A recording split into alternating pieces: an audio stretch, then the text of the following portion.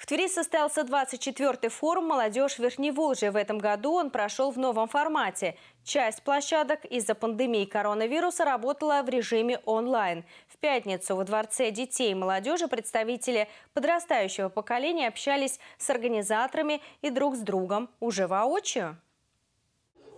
В 24 раз юные таланты, представители наиболее активной части молодежи в возрасте с 14 до 25 лет со всего Верхневолжья собрались в областном центре на свой форум. При этом нынешний год внес коррективы. Из-за угрозы распространения коронавируса часть площадок работала онлайн – что, как выяснилось, не стало неприятным моментом. Наоборот, география участников заметно выросла. С 17 по 20 число работало 9 площадок онлайн. Приняли участие более 500 а, представителей нашей Тверской области, наша молодежь, в том числе их наставники и педагоги.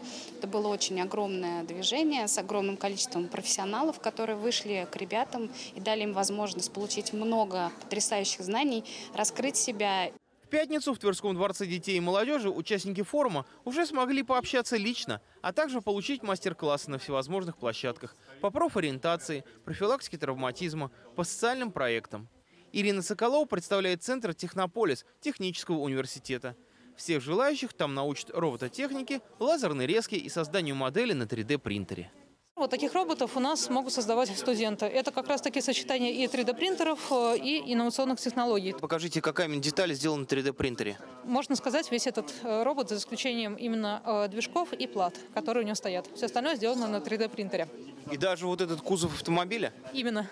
Среди тех, кто с восторгом смотрел на творение мастеров Технополиса, была и группа молодежи из Вышнего Волочка, в том числе и Лилия Лебедева. Она уже не в первый раз участвует в форуме «Молодежь Верхней Волжья» и отмечает, что такие встречи со сверстниками исключительно полезны не только с точки зрения знакомства с современными технологиями. Это как-то развивает тебя, то есть ты не такой замкнутый становишься после форумов.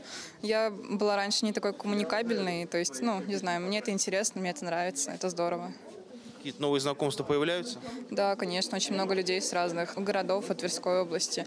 Именно это является главной целью форума, отмечают организаторы. Чтобы нынешнее подрастающее поколение, которое больше привыкло общаться по гаджетам онлайн, виделось друг с другом и воочию. Но не просто так, а еще и постигая новые знания.